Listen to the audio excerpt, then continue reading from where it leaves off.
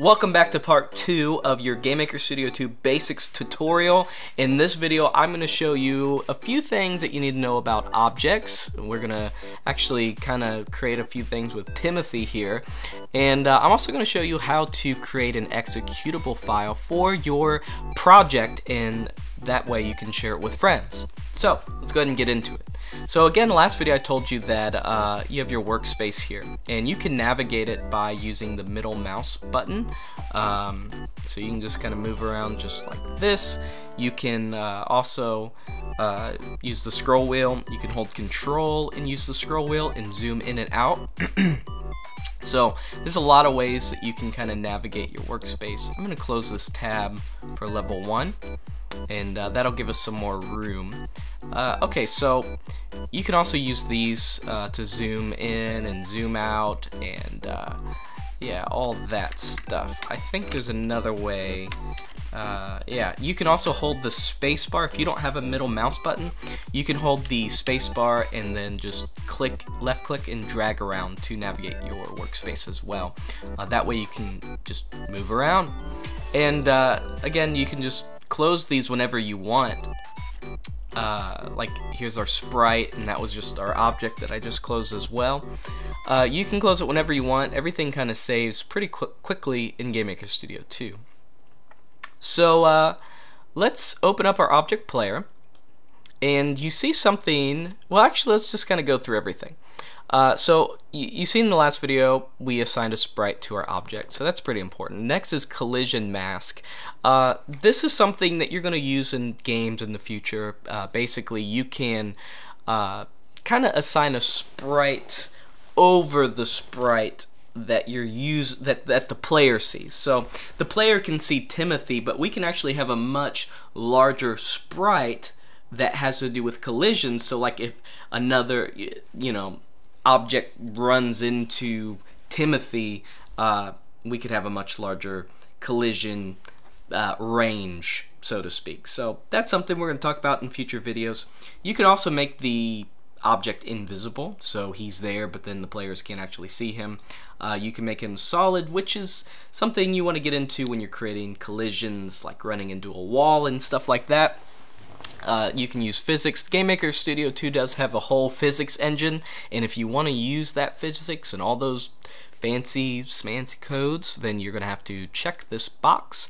Uh, you can also make him a persistent object, which if he's persistent, that means he can travel through all the rooms. And basically, right now, if you change rooms, uh, all the objects reset. And then only the objects that you've placed in the room from the room editor will appear in the game. But if an object is persistent, when you change rooms, that object will mysteriously travel to the other room.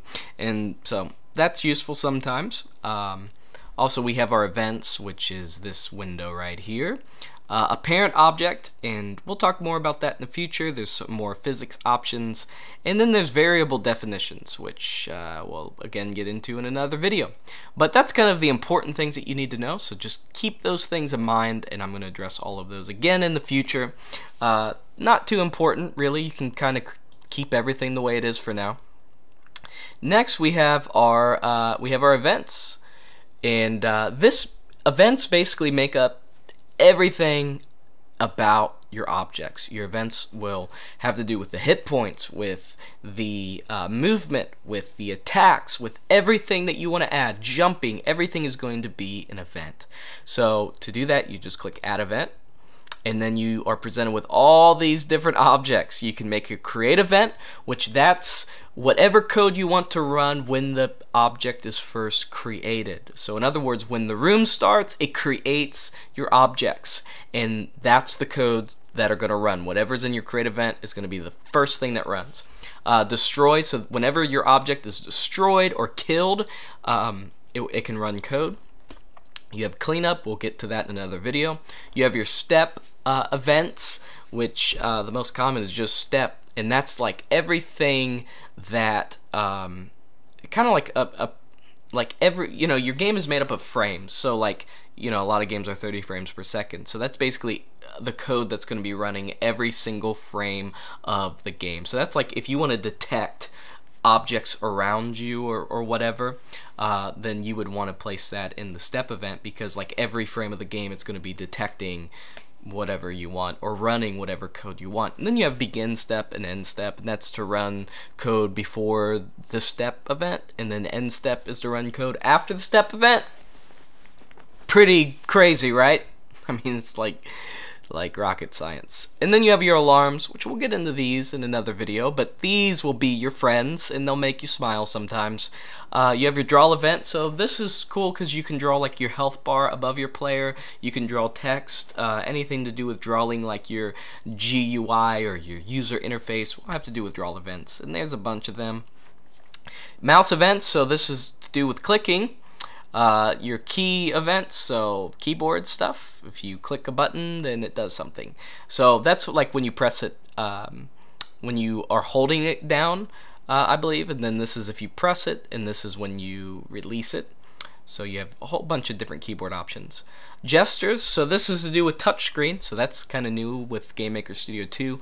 Then you have your collision, so this is if you collide with another object, which we only have one object right now, and that's ourselves, so we're not going to use that right now, but you can collide with other objects and then run code. Like if I run into him, make him explode or something like that.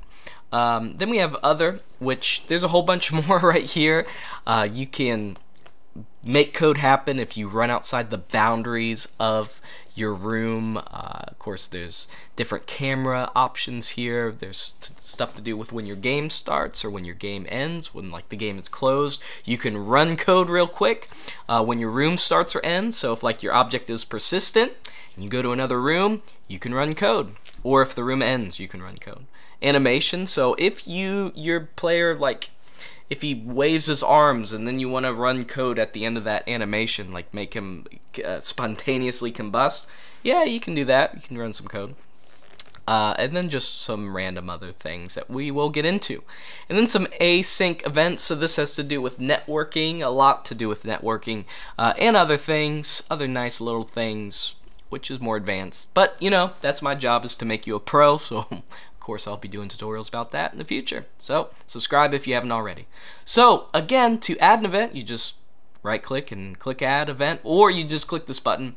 And uh, we're just going to make a create event. And uh, actually, no, we're going to delete this. Let's delete that. I got a better idea.